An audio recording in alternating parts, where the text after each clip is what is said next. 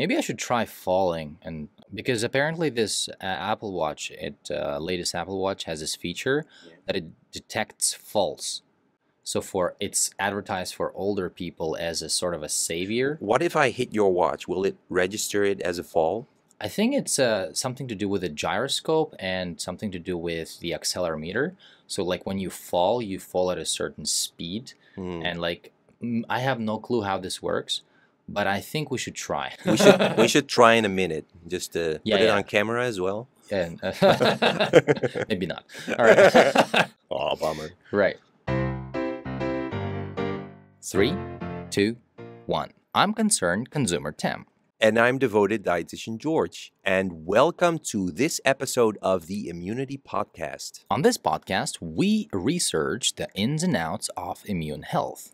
And explore the science so that you can optimize your immune system and your health. So, on this episode, we are going to be talking about exercise, and exercise is a very important part of human life. So, we are going to first discuss whether it's a necessary part. And the first question I would have for George would be Can I work out every single day? Yes, that's a very good question. You can. Obviously, it matters on uh, something, and that is intensity. You cannot expect to run a marathon every day, obviously, right? So, Right. Uh, what matters most is how do you feel exercising every day? Let's say you exercise with moderate intensity every day. You go out for a jog, or you have some team sports, or uh, you do some calisthenics. It doesn't really matter. How do you feel? If you feel exhausted from exercising and you feel better when you take a day rest in between here or there, then maybe that might be better for you. Right. But so, but but generally speaking, you can. Just depends on the intensity. So we do want this podcast to be beneficial to the listeners. Right. And therefore, since this podcast is called the Immunity Podcast, I would like to ask you about um, exercise and its impact on the immune system in a way where, for example, would walking impact the immune system in any way? Because walking is an exercise, for example. Yeah, that's actually a good point you're, you're making there. I think we need to distinguish between exercise and general physical activity. That's because not everybody would see walking as a form of exercise, whereas running, um, they would. So, walking, uh, cycling, uh, obviously you can uh, go at a different pace. You go, can go faster or slower. But generally speaking, if we take physical activity, like normal activities, or even working in the garden, or like doing some household chores, just walking, uh, I don't call those exercise. And they are still very beneficial, and they do have immune health benefits, just like exercise.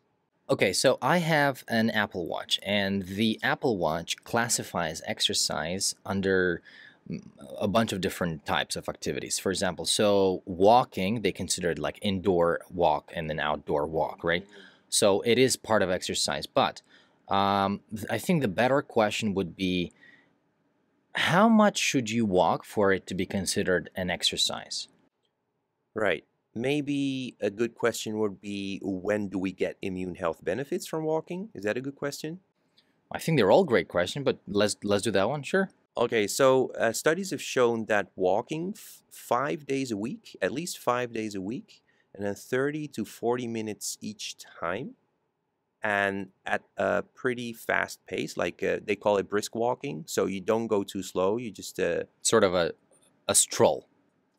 yeah, but a little, a little bit faster than a relaxing stroll, right? You go a little bit faster, and if you walk at that pace for uh, for that frequency and, and duration, then there is definitely an immune health benefit. And it has even shown that people who don't do that, who are uh, inactive, so to speak, and the people that walk, actually, they get sick um, re- significantly less. S- They reduce their sick days by up to half. So that's quite significant. So basically, uh, regularity is key then, right? To right. Yes, exactly. So, and I think for exercise, we have the same benefits. Let's say you exercise once a week, you know, that, that's already beneficial. Even one time, there are some benefits.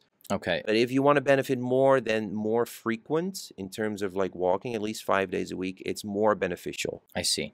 Now, speaking of benefits, um, let's sort of break down the benefits for the audience of walking. I'm sure there are a lot of different benefits from different types of uh, methods. For example, if you would consider walking uh, would improve your your overall physical health, or maybe it would improve your um, um, your mental health, or what are the different types of benefits that walking can give you? Okay, so there are actually a lot of benefits. Uh, so we just named one immunity. It's great for your immune system and makes total sense that since we're moving, right, we're burning calories at the same time. So that's a great thing too. And if you're brisk walking, if you're if you're going at a faster pace, obviously you're burning a little bit more. So it's great for weight management and weight loss. Okay. There's another one. It also depends on where you walk, but even if you walk um, in the city, not much not much green around you, not many trees, it's still good for your mood. Yeah, we generally feel better when we are more active. That's a major one. Like I encourage everybody to be more active just just because of that. Just because we feel better. It's like a, I think it's it's great for our overall general well-being. And I don't know about you, but I know my, myself and a lot of other people during the whole lockdowns we've experienced, and every country is different, but almost all of us have experienced lockdowns. Everybody, yes. Yes, and how do you feel during a lockdown when you cannot go outside?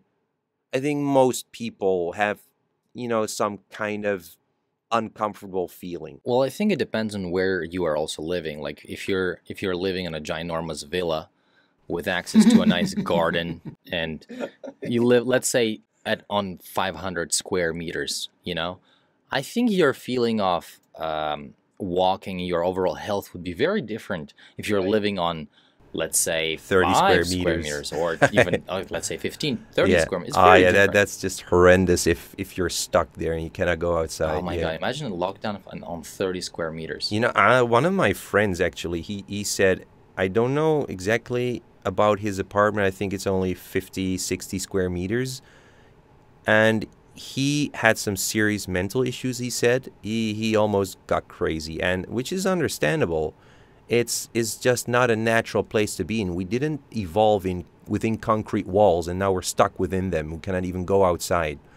And that's the the other thing I want to mention. The green environment, the trees, if you have a chance to walk in a park or even better, a forest, that will be even more beneficial for your immune health and your and your mood. First of all, your cortisol. Cortisol is a stress hormone that lowers when we just spend time in the forest. We don't even have to walk in the forest. You can just sit on a bench somewhere. Doesn't matter. But the walking in the forest, like it also we inhale like natural essential oils from the trees. And they actually activate natural killer cells. And natural killer cells, they target, among others, viruses, which is great. So bears probably don't get sick. Except during winter, you know, they're, they're lazy as. Uh, yeah, Right. I wouldn't say lazy as fuck. Right. Okay. So would you say that um, walking is very good for your joints and uh, sort of? Uh, okay. So I remember someone uh, telling me that if I run too much, my kneecaps will wear out and my legs will have problems. So don't over, don't push it. You know, don't do it too much. Like like ultra marathon runners. I think they have certain kneecap issues after a while. So how about how about joints and stuff for walking? Yeah, just regular walking. You know, you're you're naming a few extreme activities. Let me put it like that. Like just regular folks, uh, they actually benefit a lot from walking, especially if they have sore joints, because basically lubricate your joints when you're moving, which is very beneficial. Not only that, So you reduce the pain. You also strengthen your muscles around the knees, like your your your quads, your upper legs, your lower legs, which basically take pressure off of your joints. And on top of that, you also have the strengthening of your muscles increases your stability and this matters even more as we get up there in age and in, in so we get more stable our muscles are strong enough and it reduces it. It's been shown that people who are active they have a significantly uh, significant significantly less risk of falling which is which is very important because when old people fall they have a higher chance of breaking their hip and hip fractures are generally very complicated And, And also- to solve, right? The whole fixing. yes and and it also basically uh, increases mortality risk that's how complicated things are so we want to reduce that as much as possible and even when you're young obviously it's good to have lubricated joints it's not just about stability I see. Maybe I should try falling, and because apparently this uh, Apple Watch, it uh, latest Apple Watch has this feature Yeah. that it detects falls. So for it's advertised for older people as a sort of a savior. what if i hit your watch will it register it as a fall I think it's uh, something to do with the gyroscope and something to do with the accelerometer. So like when you fall, you fall at a certain speed, Hmm. and like mm, I have no clue how this works, but I think we should try. we should we should try in a minute just to Yeah, put it yeah. on camera as well and maybe not. All right. oh bummer right. Okay, so in general, does physical activity such as walking improve energy levels? Yes, like being active actually increases our energy, and we can easily feel that when we we stick around at home for too long. And you know that, and I know that. Like it's not really good for our energy levels. Even if you eat very healthily, you know, it just doesn't work that way unless you are being very active at home or you do exercises at home. Then then it will be different. Uh, I was going to ask you, but maybe I, I will. We will hold this topic for another um, podcast. But like, would sexual activity count as being active? what do you Because, Okay. you mentioned the whole stay at home, right? Maybe you're active then. What about that? Okay, what do you think? What do you think? I don't know. Because I mean, people do go through a certain amount of rigorous activity. Okay, so wait, wait, let me put it like this. When you enjoy some form of intimacy, like how active are you? Are you just lying like a zombie on on bed or are you actually doing something? You know, the way you can tell is like what happens to your heart rate? Like are you feeling like you're actually doing something? Well, of course. I mean, I mean, I think everybody does. Does don't don't people Or you can do it more actively or less actively. But, yeah, I understand, but not naturally the heart rate elevates, right? yeah, yeah, yeah, yeah, yeah. Yeah, but like so mm, and you, you can always choose like more complicated challenging positions if you you know so I think we should definitely keep that for another topic, right? That would be dope.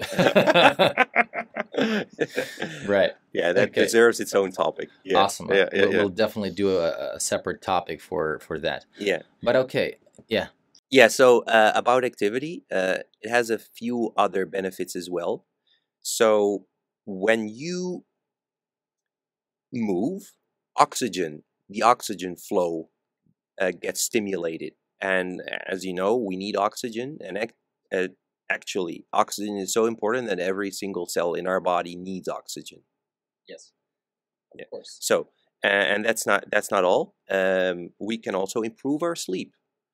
So, during the pandemic, um, and I I I have to tell you, like I I've been quite active, but usually when I go on a holiday, I, recently I went to uh, um, to a mountainous area and I, I was very active. But when I came back, my rhythm was completely off, and I it took me a week to get back on schedule.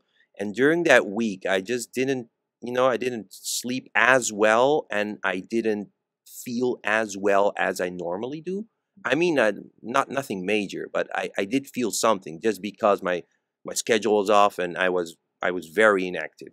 But don't people say normally when you go on a holiday type of thing, um, you are sort of relaxing, and uh, it's it's kind of normal to be off schedule there. You know, No, so no. I, after I came back, so during the holiday, I was very active. I was like having having so much fun. I was oh, cycling that's what you like mean. uphill, and I, I really Right. enjoyed that. So Okay. I was way more active actually than I'm than I normally So am. in So day to day life, you're a lot less active than less. a Yeah. mountainous area. Yes, I'm quite active. I, I walk a lot, uh, especially coming to the studio.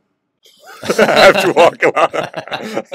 so, Yeah. but but yeah, normally I, I'm I'm not as active as during a holiday. I like to be extra active during those times. I see. I see. Okay, and um, there are two more things I would like to mention.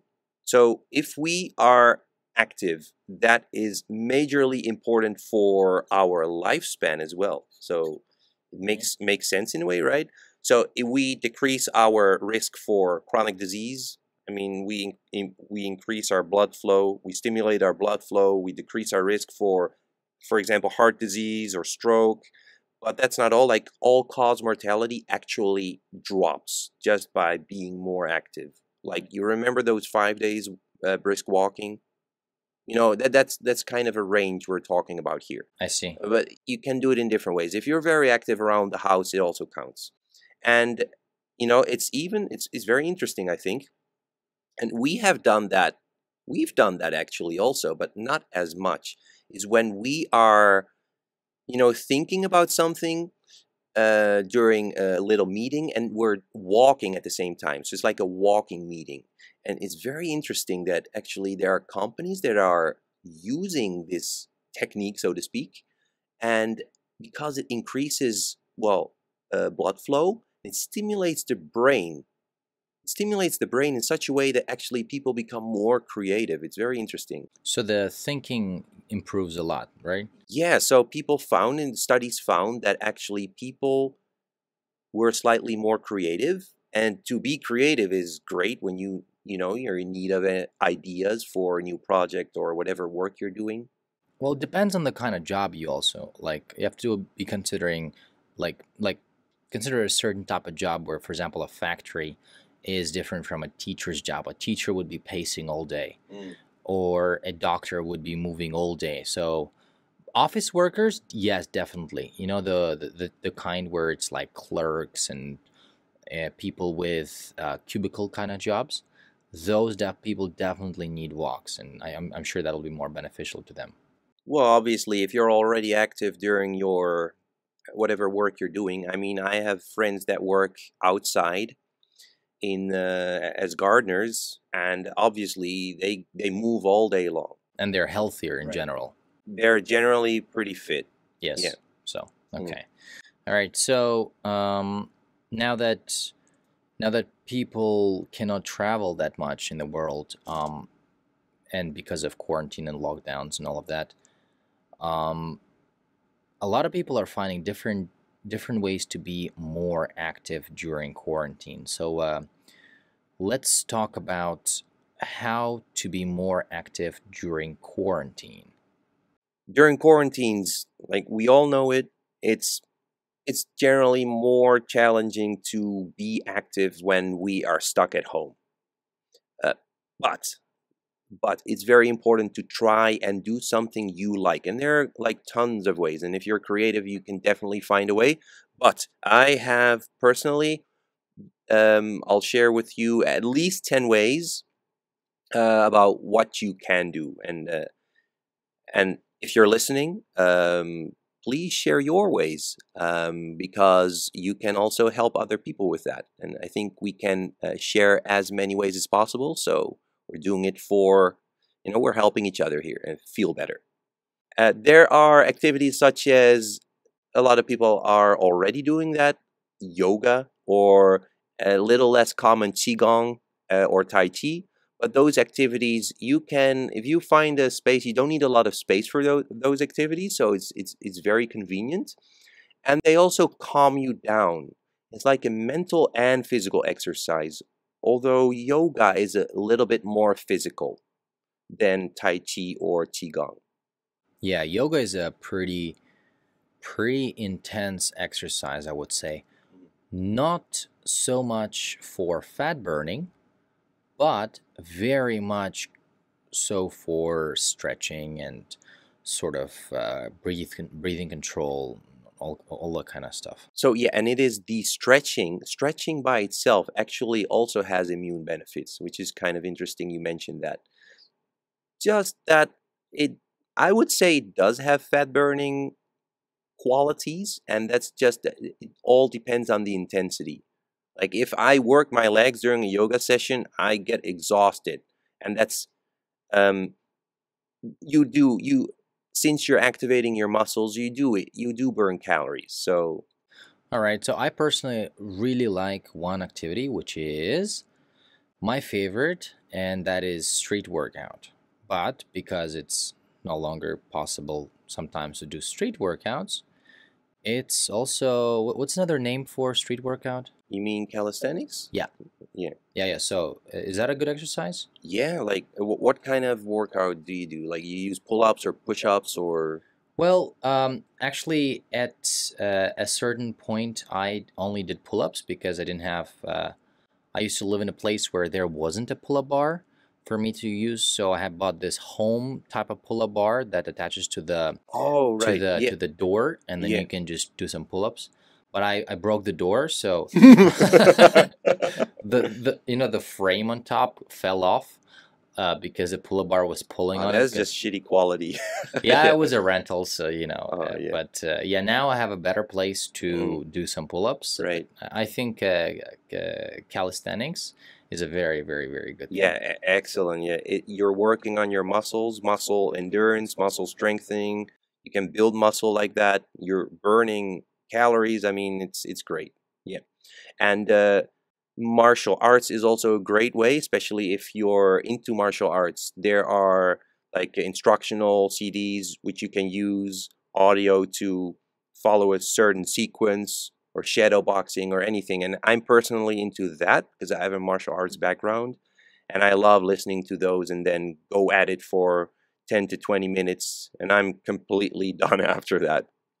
I also think uh, jump rope is a very good one. Yeah, excellent. Yeah, jump rope is is I find it so difficult. I never really learned that, but even if you do it the, the child's way, you know, that that is even very effective.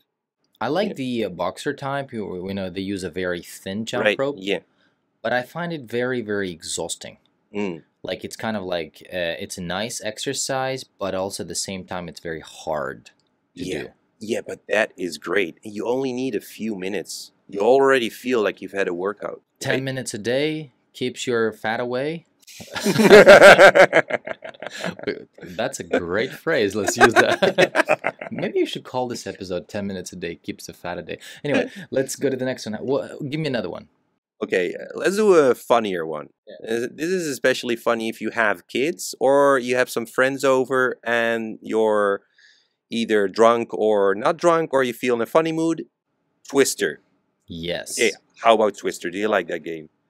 Uh, I do. And I, you know how I learned about this game? Uh, I actually learned it through Big Bang Theory, the TV Oh, show. Yeah. They had that uh, episode where uh, the main characters, the uh, girls of the main uh, cast, they were playing Twister, and uh, but they were playing Twister right after they drunk, like drank a lot of uh, wine.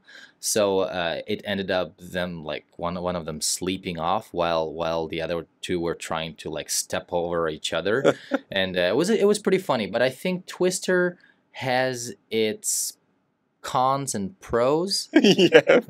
Uh, it depends. Like uh, I know a lot of kids love it, and uh, so if you if you're at home, you have a family, it's a great way to do something different. You know, get away from your screen, from the TV, and do something as a family. And actually, it it requires you to actually use your muscles. How how strange that may sound. Yeah, I mean, So- it is hard to stay in one position for a while, you know. yeah, so- yeah, yeah, yeah, yeah, yeah. All right. All right, and uh, which brings me to the following: if you have kids, play with your kids, and you know, kids are so creative. Actually, we are also creative. We just lose it, like through our education or through our work. It depends on what we do. It it totally depends on us. But children, they have so much creativity. If you don't know of any games, your kids will guide you Like they're very good at that, and it's often it's something very active. And if you can go outdoors, if you have a garden, it's even better. There are even more games you can play. So yeah, be involved with your kids if you have a chance, or even if it's your nephew or your niece or whatever. Yeah, the uh one one game would be uh hide and seek, right? Right, hide and seek is is is, is awesome. Yeah. I l- loved hide and seek, but then I got too big. So you can't hide But when for kids, for kids, it doesn't matter. Like you just have to pretend. I still do that. Like uh, you just pretend and and uh, pretend you don't see them, and then they find you, and then they start all like giggling and stuff. Oh no, but we used to play serious hide and seek when I was uh, like Yeah. uh, uh I don't know, maybe eight, nine. We played serious hide and seek, like you had to actually hide, and then and the other person had to actually find you, you know, seek you. It was a bit different, so we didn't really play it for fun. It was like more like, oh, I found you, I beat everyone, blah blah blah. Maybe, yeah. um, okay. okay, so um, okay, that's uh, if you have kids, but not everybody has kids. So a lot of people have to work at home. So sitting at your desk is one thing, but standing is another. And standing is it's a, okay, so it's basically a static kind of workout. If you have to stand all the time, yeah, that you know, you use more muscles to stay upright. You just do pay attention to your posture because otherwise you might feel uncomfortable and having a good posture uh, you know tucking your pelvis in keeping your shoulders a little bit back and uh, keep your head straight uh, you actually uh, use muscles to do that and using your muscles will increase your calorie expenditure. So that's a great thing. And sitting just sitting well you don't burn as many calories So pretty much, uh, find find a time to stand and work, and find a time and to sit and work. yeah you cannot stand all day so Oh, but that- you, That's why they have those standing desks, you know, like uh, yes. it goes up and down. Yeah, and uh, that's also because a lot of people experience discomfort, like uh, in their lower back, especially when they sit too long. And yeah, so for for for those people, if if if you have that issue, that that's a great thing. And even like technically, it's a blessing in disguise because it allows you to actually, you know, improve your posture and take better care of yourself. I actually saw this um, this device, um, which lets you fully lie down in a- in a completely horizontal position, and the computer is sort of inbuilt into the whole structure. So you, as you lie down, it the computer sort of goes over you and then when you need to go back up it also goes away and then eh, it goes completely straight so you're standing and you can play and then it goes down again. You can lie down you can sit it's like a super nice crazy chair eh, with a gaming computer attached to it. It's a it's a device people people can buy if they want to. It's an actual device. Okay, so but just uh, because uh, I'm uh, I'm slightly slightly confused here. So it makes you move more. Well, it can sort of as you as you sit and play or work, it moves automatically, so so you can have variations. So it can move up, so you're in str- in upright position, and then Yeah, you can yeah. lie down, and then you can sit. Oh, but your body is always supported. Body's fully supported, hundred Oh. percent from from uh, feet to head. Okay. So you don't really use your muscles unless once So you stand. basically, it's a very convenient laziness. But it's sort really of. nice, so you can stand up and you know slide down and sit all all without moving a muscle, which Okay, is about the so uh, that's the opposite of what we want, actually. right, right, right. right. okay, let's move on. all right. How about uh, another method? Yeah, okay, so this is, you know, some people have, and if I don't consciously pay attention to this, I don't drink enough water. So, and what does that have to do with activity? Well, if you drink enough water, you move yourself all the way up to the bathroom. So the thing is, if you're living in a house and you have, let's say you have a bathroom upstairs and downstairs, that's great. Just always use the bathroom on the other floor. Or just come to the studio. Yeah. Like in the bathroom here, it's pretty far away, right? It's like 50 meters away. I had no idea. Just to just Pretty far. So, and we drink uh, quite enough. Uh, let's say we drink about two liters. So we uh, every every let's say every two hours you go to the bathroom and you take a you empty your bladder. Anyway, so now. So, but So that's good. Like so, around. Yeah. So drink enough so you walk more and force yourself to go to a bathroom, which is a, or a restroom, which is a little bit further away. Also at work, even it works like this. You know, so it, it forces you to get up and move, which is also good for your joints. Cool, cool. All right. Um, and for all the people who like gardening, uh, especially my parents, and uh, when I, when I was younger, I was always gardening, and I was always active in the garden with a shovel, and and uh, got a lot of blisters, and that was a great exercise because I was always fit. You know, it was hardcore work, but you know, Oh, gardening is great. Even like sweeping leaves, just like simple things. Or and some people really like to get dirty with and put their hands like in the soil, start digging. Or you can always buy gloves in, in case you want to. You to. can buy gloves as well. Yeah. if you don't like blisters, of course. Yeah. Yes. Yeah, yeah, yeah. And uh, yeah, so there's one th- more thing I'd like to mention. And just because some people say you should do this activity or that activity, or you feel like you're forcing yourself to do this or that, try to. It would be most efficient if you do what you want to do. You know, any type of activity that you are more drawn to would work way better. And also realize that once you start doing or have a more active lifestyle, like certain things, like what I just said, like use the the furthest restroom or drink a little bit more water. If you do all those things at the same time, like we've gone through uh, quite a few points here, if you want to do like a lot of different things at the same time, that's mm, that makes it a little bit more difficult to make everything habitual. And habit is key to you accomplishing any goal. So if it doesn't become a habit, then it, it's it, it's too difficult. So I want to say two things. One, do the things you want to do, and try to build up regularity so it becomes habitual. It's very important. So accountability is very important.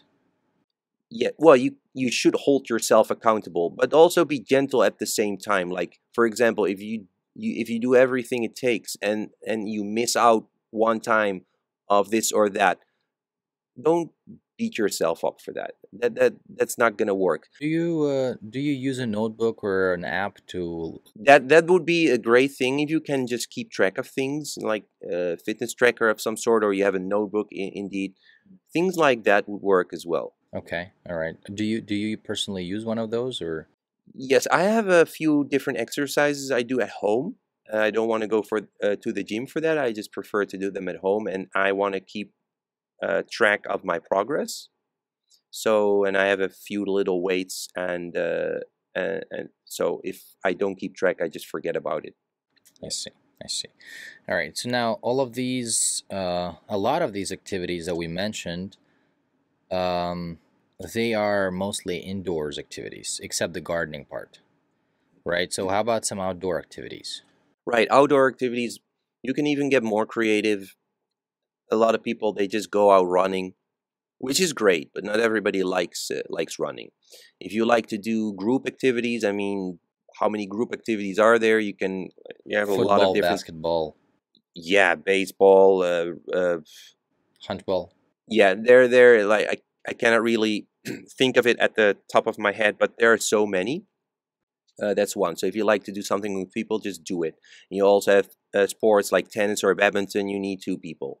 Whatever, it doesn't matter. Just anything you like. Just uh, So uh, we went very broad uh, with the whole exercise uh, explanation. So let's uh, dial back down to immunity. And um, would being active help your immune system? yeah, we've already mentioned it, but let's let's summarize it and and make it extra clear. So regular activities like walking, cycling, gardening, household chores, anything, be active, all every kind of activity helps you. Helps increase blood flow, improves your immunity. It has lots of different health benefits. So active people get sick less often than inactive people, which is what I'd like everybody to remember. Okay. Awesome. Awesome. So uh, let's conclude this uh, little podcast episode.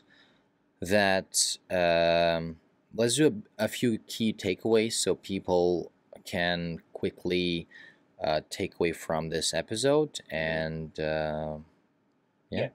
So the biggest takeaway obviously is be active, right? And it can go through normal activities. You don't necessarily need to exercise. And this is major. You don't like to exercise, then just don't do it. Because I can give you a clear example of my, my own father. He always cycled to work. He always walks to the supermarket.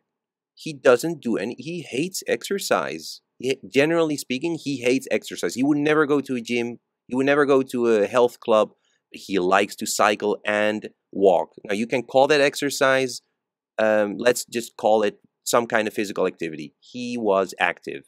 And the thing, what makes it even more important, he did that every day. So for him, he made it a habit years ago. And even after he retired, he started even walking and cycling more. And for him, it was very difficult to actually break that because it was a habit. And habits are difficult to break. We need to consciously do other activities or leave certain activities, do other activities, and make those habitual. Once we keep at it, especially if you do something daily for up to 10 weeks, we make our activity habitual. If you do it only a few times a week, it takes a little bit longer. Just take that into account. Can take up to 10 weeks if you do it daily. Yeah. But once it be once it becomes a habit, you're you're set. Like nothing can break that habit unless you want to. And you have that power. You can do it. And don't think of yourself like you cannot build any healthy habit. You can. You just need the right approach and realize that it takes some time. Okay, you know, so for me, I I was very irregular with my exercise, and then I decided to make a plan. And then I made, made a plan till the end of the year. Uh, it was a daily activity exercise plan that was not rigorous so that I would be worn out every day and couldn't repeat that exercise.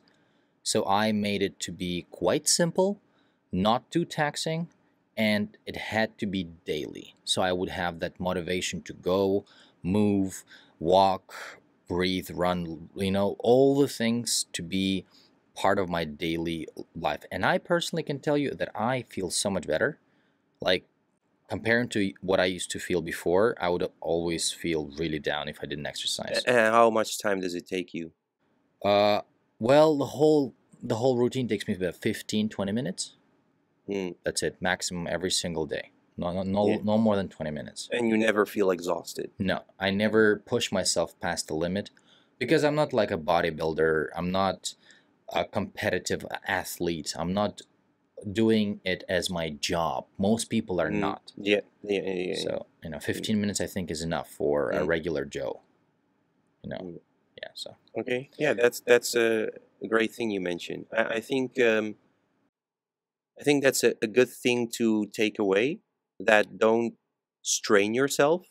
Do something you feel comfortable with. Yeah, and and do that regularly, I would say. Yeah. All right. Well, uh, shall we conclude this one today? Yes. Awesome. This concludes our immunity podcast. We hope you found it helpful, and we also hope that it inspires you to be more active. And where there is a will, there is a way. So if you really want it, you can do it. So if you want to find a way to get started, we included a few links in the description. And those links are only for our YouTube channel where you can subscribe, like, and share our videos. So we will see you next time. Please leave us a review. Bye.